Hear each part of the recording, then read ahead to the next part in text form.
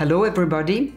My name is Dr. Françoise Wilhelmi de Toledo, and I'm uh, the scientific director of the clinics Buchinger Wilhelmi in Überlingen and Marbella.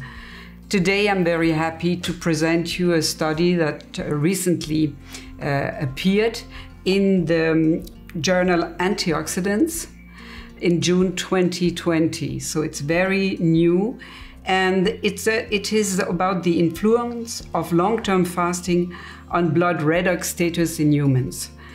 Uh, this study has been done together with uh, Franziska Grundler, my co-worker, and the University of Thessaly School of Health Sciences, Professor Dimitrios Kouretas. And we have uh, just wanted to know if the oxidative stress that appears in all the organisms normally and also is accelerated and enhanced by pollutions of all arts, drug consumes, uh, cigarette smoking, uh, heavy meals, and metabolic stress.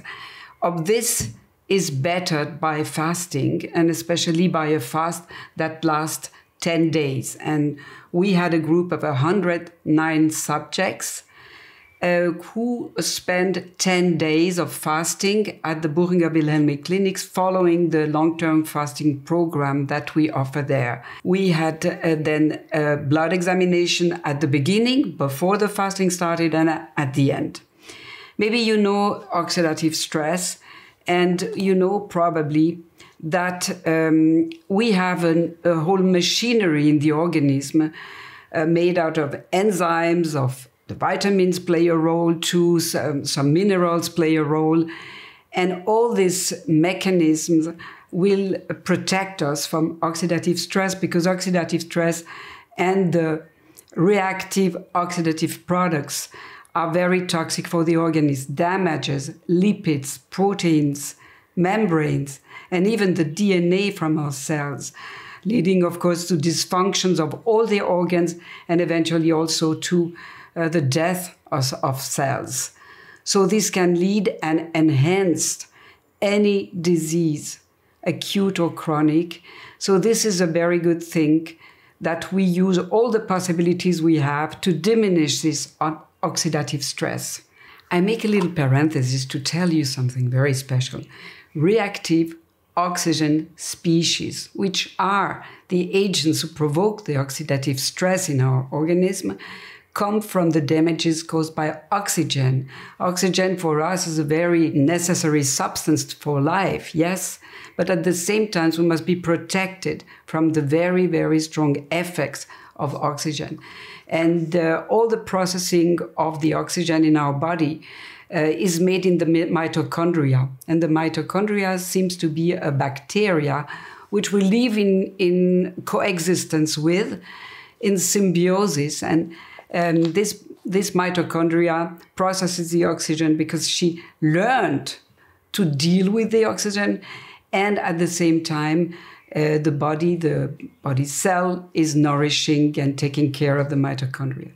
So when we just breathe and the cell breathing with oxygen occurs, then we produce some oxidative stress, but in a totally physiological range so the body can deal with it. And it's even a very important signal for some genes to uh, start the detoxification process.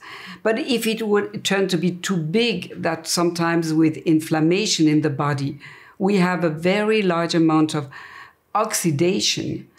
Or we smoke cigarettes, we live in a very polluted in a room or outer room in a, in a place where you have a lot of pesticides and the air is not clean, the water has, is not clean either. So that is bringing um, too much oxidative stress, and the body can be overwhelmed by it. If not, we produce uh, some um, substances which will defend us and which will neutralize this oxidative stress, and this is the antioxidant machinery. In our study, we started just to look if the persons coming, these 109 subjects, uh, had a high or low oxidative stress at the beginning, and what was the effect of 10 days of fasting. This is called long term fasting today because uh, you oppose that to short-term fasting called intermittent fasting and long-term fasting uh, can be done under medical supervision in a special place with a staff taking care of the person especially if it's for therapeutical purposes. So what did you observe in these uh, persons after 10 days? We saw an, an increase of the total antioxidant capacity. And this has been very good described in our publication.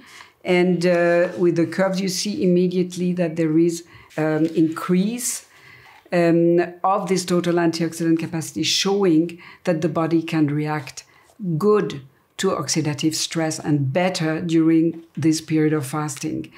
Um, an increase of the uric acid is parallel. A uric acid is um, a substance that normally is not increasing in the body except you have a special pathological situation leading to gout. But in fasting, this increase of uric acid is not leading to gout, and very probably the body increases the uric acid um, also because of this antioxidant effect of uric acid. Another effect you will notice that the TBARS, these are substances uh, and we can measure and which reflect the degree of oxidation of the lipids. Lipids are part of the membranes and are circulating in the blood.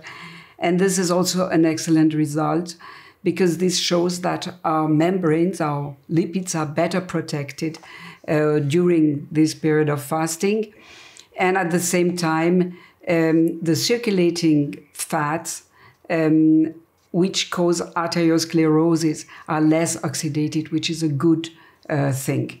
So uh, the um, results are very positive, and we just did the first study.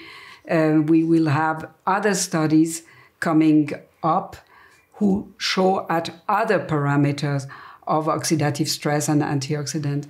Uh, there is a, an aspect for the people who are interested in these antioxidants, the glutathione, the catalase. These are enzymes that don't change from the first day. If you measure them the first day and then you measure them again in the tenth day, we don't know if they if they increase in between. But at, at least what we can say is that they are not diminishing. They don't seem to be influenced. And some people had high glutathione, other had low glutathione, and when it's high, it seems to decrease, and if it's, it was low, it seems to increase, which is an interesting piece for further studies. So maybe another little comment uh, that I would like to do to you is that the fasting itself, especially if you do it in a protected place where you're far away from your everyday life, where you have a whole staff taking care of you, giving you confidence because uh, the staff knows how to care and how to guide people doing a fast of five days, 10 days, 15 days, or 20 days. Uh, this is diminishing the oxidative stress because the air is pure, because we don't absorb food containing oxidative uh, or, or, substances which can lead to the production of ROS. Um, and at the same time, the digestion, the confrontation between food and our digestive process enhance uh, oxidation processes. We know that because the oxidative stress is enhanced postprandial, this means after the meals. So since you have no meals or very reduced meals, because in the Buchinger Wilhelmi clinics, we uh, give um, uh, 200 250 calories in form of juices or a little bit of honey and vegetable broths so you have al- almost no meals and this is a per se a diminution of the oxidative stress. So in conclusion we can say 10 days of fasting according to the program of the buchinger wilhelmi clinics will diminish the oxidative stress and will enhance the antioxidative um, response of the body, which in finally is an excellent news since oxidative stress is aggravating any condition you can have acute or chronic. So if you want to enhance your immunity or at least enhance your power or defend yourself against, against aggressions,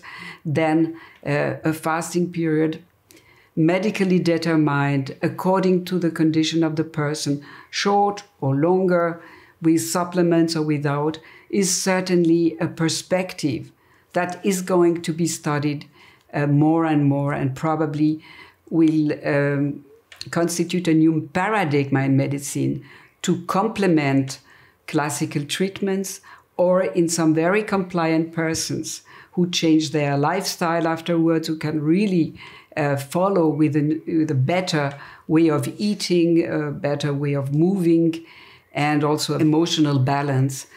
Uh, this could be a tool in the therapeutical arsenal from the 21st century. So, rediscover your own ability to fast. So, every human being, any, every animal is able to fast for short or longer periods. We recommend in the Buchinger Wilhelmi clinics to have medical advice from specialized doctors specializing in fasting and having a staff who is trained to guide fasting persons and then you can really make it uh, make a try either to uh, prevent diseases or uh, when you have a disease to uh, treat it um, with more than just the conventional treatment. I hope it was interesting to you. You can acquire this article in uh, it's added in uh, the information we give you in this video. So I wish you all the best. See you next time.